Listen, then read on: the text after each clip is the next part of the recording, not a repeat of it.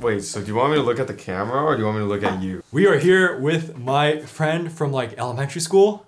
I've known this guy forever. He doesn't remember. But we, we, we met in high school. We've been playing like a ton of board games. This is Jason. I'm Jason. Hello. Yeah, and he's here to talk about his top five games, and we're gonna talk about some BG rankings, how they compare and whatnot. The reason why I collected them as my top five games is if I was doing some massive cull of my collection and I could only keep like five games. A lot of them have a lot of replayability. Like I'd Yeah. probably play them again and again. Mm-hmm.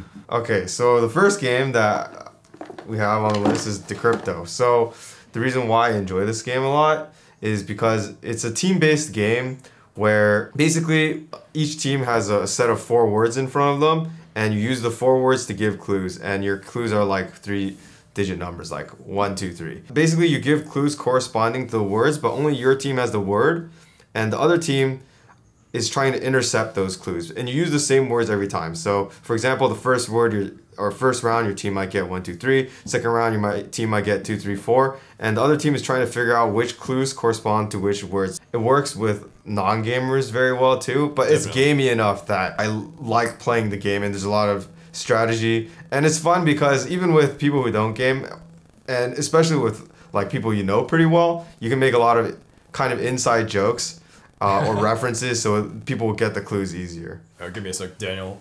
Daniel just called. Uh, i mean we can restart this is good because you can put non-gamers on gamers teams, so you kind of balance out the teams really well, kind of like Codenames. yeah Hey, are you coming? Okay, yeah, wait Decrypto. so is he coming yeah, he's coming. where was i especially if you keep playing with like different people you get to see how people think like what they are thinking when they're giving the clues Yeah, yeah. how you can like mess with other people too if they're on the other team Yeah. to try to like throw them off and uh yeah Yeah, you could have like the same word, and then if you swap like one person on each team, it's gonna change a lot. yeah yeah Or uh, you can choose to play with a timer or without a timer. yeah Yeah. Okay, so remember, no particular order. This is the, the second game. So the second game I really like is One Night Ultimate Werewolf. So One Night Ultimate Werewolf is just one of like a bunch of social deduction games that I've played throughout the years. It's really fast and you can despite it being really fast, there's a lot of depth to the play. There's some really crazy stories I remember being played. With the expansion, uh, Daybreak, there's a role called Village Idiot where uh, if you've played like any of these social deduction games, everybody gets a hidden role. But his role is at night, what he does is he rotates everybody's players once, clockwise or counterclockwise. But the thing is, it's not he must rotate, it's a may. Even if you're like a villager on the villager team, you have to lie. Like you you cannot just tell the truth because you're on such a short time. Generally we play with like five minutes of deduction. Okay. Um, Or else it just goes on forever. Yeah. Yeah. uh, so you're on such a short time that you have to kind of lie and bluff your way to getting more information out of people. Because if you just tell this truth from the get go, it doesn't work. For example, if everyone tells the truth and a werewolf just like wiggles in, you just yeah. lose. It's also pretty cool because you can like you have you have that time crunch. You know, normally werewolf you don't have that time crunch, and Yeah. normal werewolf slash mafia takes like an hour, and you need like a, a DM, a storyteller. This you just use app. Oh, I think one of the worst feelings in that is getting killed off first. Ah, yeah, yeah. I mean, Yeah. you don't really have anything to do. Like the werewolf or mafia, uh, Mm-hmm. whatever version you're playing, just kills you off, and then you're sitting there for an hour. yeah, it's always like that. Yeah, you looked at me funny. You're the bad guy. Yeah, and Yeah. what's even worse is sometimes like you know in Werewolf or Mafia, people will be like, "Oh, uh, you're just always the guy who gets killed first, so we'll just kill you first anyway." That- Okay. For one night, like there's no werewolf killing phase, right? Because Yeah. it's only one night. Yeah, it's so that's one the best part about. I think uh, that's the biggest advantage it has over vanilla. Yes. Because although a lot of a lot of these newer social deduction games like Secret Hitler or Resistance don't have uh, that kind of player elimination, really. Yeah. This guy. Okay, so this is the third game in my top five. Uh, we're starting to get into the more little meteor games. Uh, but basically, this is Roll for the Galaxy. For me, a lot of, for some reason, there's something visceral about rolling dice. Like, it just feels good to roll dice. So, so uh, that's kind of that's like a little bit of the reason why I like this game. Disregarding that, I really like engine builders. Um, I mean, I wouldn't play them all the time, I think, but I really like the feel of a like good engine and mm-hmm. Roll for the Galaxy is an engine builder game. And you get like dice cups. Yeah, and So you get dice cups to roll, and yet Yeah. you really have to pay attention to what other people are trying to activate and plan accordingly so that you get the most efficiency out of every round. Yeah, I've Yeah. only played this game in like one sitting. We played like two or three times with our friend Bender. It's so addicting. That's just so fun. Oh my gosh, Yeah. it, it's, it's just so fun. Most of the games I play are probably a lot longer than this, but this game takes like if you have it down, probably half an hour to an hour. And I like rolling dice, so Me too. Yeah. all right. So starting to get into the Uh, yes. Really heavy games. Yes. Uh, yes. So one of my favorite games is Food Chain Magnate. This is one of the heavier games in our collections, probably. Not just rules wise, but in terms of decision space. When I teach this game, I make sure to give opening moves because if you mess up your opening moves, you- you're not playing the game.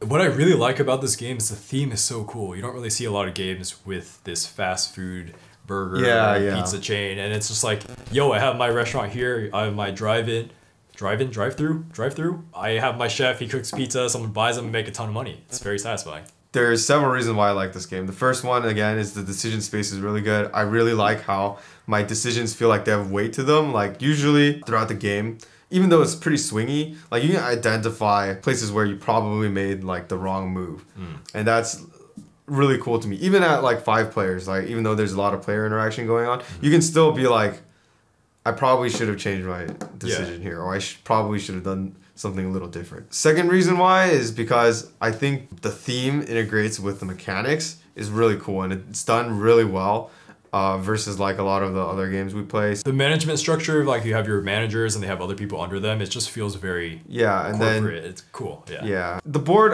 I know like the supply and demand mechanics don't really make sense, but the thing is like even with that supply and demand mechanic, it feels like very real in the sense that people are trying to compete with your prices and stuff to try to fulfill that demand, like to figure out which or which franchise I guess the customers are going to. It feels very Ah, yes. Thematic. The yes. price slashing. Yes, yes. It's very price fun. slashing yeah. wars versus you know quality. Yeah. Or you're like really scummy and then you make sure everyone else doesn't like have pizza and then you just make pizza like double the price.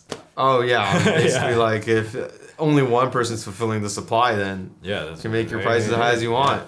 Yeah. But yeah, I think the that kind of supply and demand is a very cool mechanism that they implemented. Yeah. This is the final favorite game. And you know what?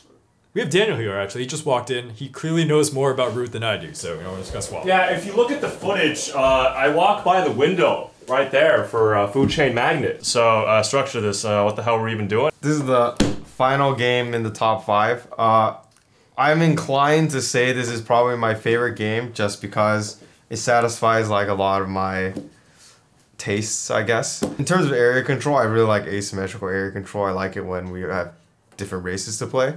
Uh, it just adds to the replayability. For Root, I don't know. There's just something about Root where the asymmetry just works and it plays very smoothly. Like a lot of the area controls we play are like what two plus hours, um, at least, right? True enough, Like, yeah. and that's on the lower end, and those are like the simpler ones. Whereas Root is, I would say, fairly complicated. But like a four-player game of Root takes about two hours, including setup and takedown. We've had games that are like So- 90 minutes and whenever just kind of just going. Yeah. So the other reason is I like politics enough, but this game has both politics and it feels gamey enough that I feel like I have some control over the space of what's going on. Yeah, the point incentives are really, Yeah. uh, they really make sense when, you know, getting everyone to like fight over shit for each other, you know, it's just, it's all, like the scene that Root sets up is like the perfect playground to give people an excuse to say, see that guy? He's winning. Hey guys, beat his ass. Funnily, the biggest complaint about this game is that there's a lot of king making. But for me, honestly, that's what makes the game for me. Like that is the whole point of the game. If you don't like king making, don't don't don't play the game. Once people play the game enough, so I probably play this game 20, 30 plus times at this point. And like that's for such a like a big game like this, that's crazy. Like Well, it's also easy to do that. So short. that's true. Like even some party games I haven't played that many times. So, you know, the fun part is trying to convince everybody at the table who the leader is because it's not always clear who the leader is. Like just because they're at like 20 points everybody else is like 5, 10 points behind doesn't mean they're actually the one in the lead. I've seen games where the guy's in the lead and he just stays at 20 points cuz we don't let him do anything basically because you have ulterior motives because you want to win, right? You try to say, oh, we need to check them in this specific way, so it gives you the opening to win. I think that's the most fun part of the game, and making sure that you know other people aren't doing the same thing you're trying to do. You know, leave themselves an opening to win. Mm, yeah, some real sneaky, sneaky shit. I would attribute that more to the fact that like I think the game's actually so well balanced that like everyone, if they know what they're doing and they're all actually playing for points, they should be at a point during the end game to be able to win. Everyone always has some avenue. You know, like whether it's be, oh screw, I'm gonna go for dominance and be on points, or the other guys is like, oh yeah, dude, I'm at like I'm at like 24, 25, I can just shoot ahead in five points right now. Like it's, there's always some shit you can do that's just like, look at me, I'm a threat. Ha ha ha. Also, since you know I have all the expansions now, we have eight races to pick from, so Replayability. I'm always discovering like new ways to play, like based on who's pl- like what factions are playing and who's playing the game. If I was just going to like pick my favorite game of the five, it would have to be Root.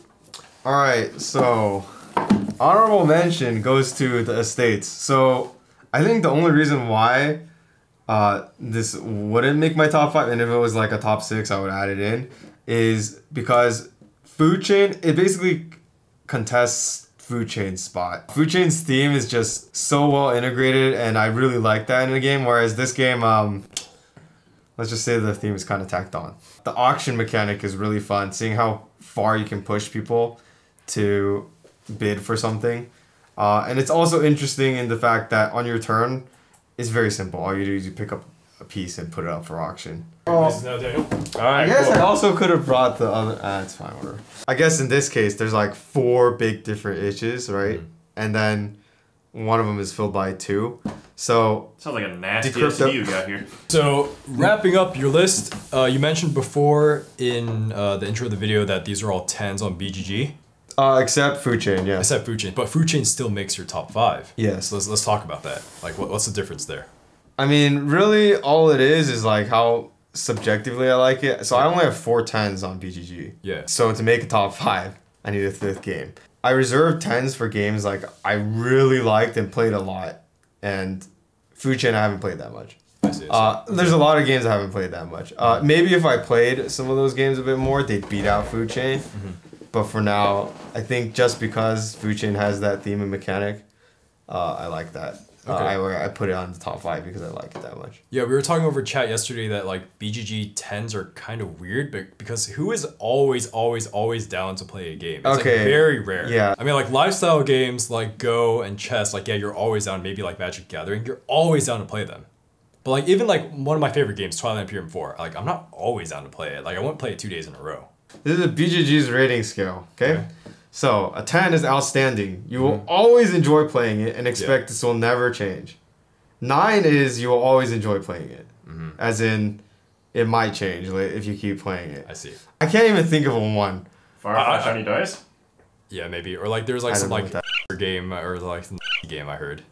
Oh, we're gonna demonetize for that, Frick. Is one like burn it, burn it? Yeah, 1 is like, it shouldn't exist. Okay. you're always down to play with whoever, but if you're playing like a hard game with newcomers, is that still a 10? Yeah, I don't know. I, Yeah, because a newcomer is just someone who's not yet played the game a bunch, right? So just play with them more, and then bam. Yeah, but then the first time you play, is it still a 10 out of 10 like experience? Is it still fun in that sort of sense? I don't so. think I don't think that's the what right they're going frame it. for. Yeah, that's not the right way they're framing it. Okay. They're saying that With like the Given- right group. yeah, like given given the game, Yeah. and someone asks you to play, Mm-hmm. Given no other information, would you always be willing to not to play?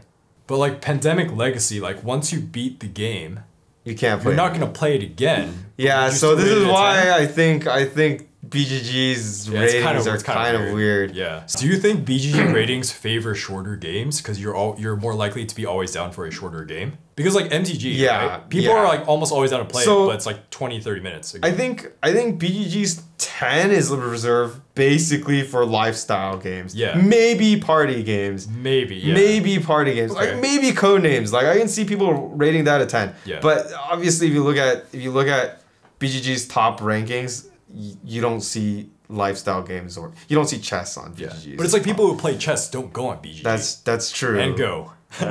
You still don't see like Magic Yeah. Or, or like very high. Magic's not even Yeah. top 100. Or Uh-huh. I don't even know. But it's where like the it is. hardcore Magic guys don't go on BGG. They go on Magic websites. That's true. Like you said, like Pandemic Legacy. That's not. Okay, I can see Twilight Struggle actually. I can see that. I can see that actually And that is because a game it is a lifestyle we have game. played. Yes. That I I can see people really like playing it over and over. That's a story for oh, another man, time. That's a punishment. oh Uh, my god, please no. Yeah, sure. Like, say I don't play games that much, but I still have a favorite game.